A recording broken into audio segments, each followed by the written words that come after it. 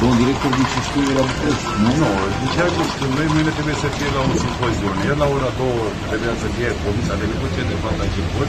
La ora 2 fără sunet a binevoit să plece dictatul conferințele de psihologie. E a doua oară, a mai fost o comisie mixtă aproximativ acum 3 săptămâni și ceva. Uh, a binevoit să vină la momentul respectiv după ce s-a terminat uh, comisia respectivă. Noi am avut o întâlnire chiar săptămâna trecută, luna trecută, uh, cu dumnealui. A fost prezent aproximativ 20 de, să zic, de domn din conducerea de, și doamne din conducerea sindicatului Uniunea Negră și la care dumnealui a spus că vor rezolva aceste probleme în cadrul comisiei de negocieri de, de ieri.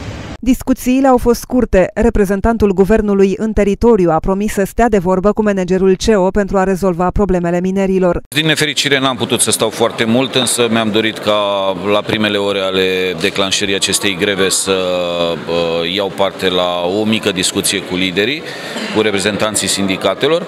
Am uh, luat la cunoștință revendicările pe care domniile lor uh, le-au scos în față. Ceea ce pot să vă spun este că le-am promis că în jurul orei 14 voi mai avea o trecere pe la sediul complexului energetic Oltenia. Deja am luat legătura telefonic cu directorul general, cu domnul Boza, care este plecat la București.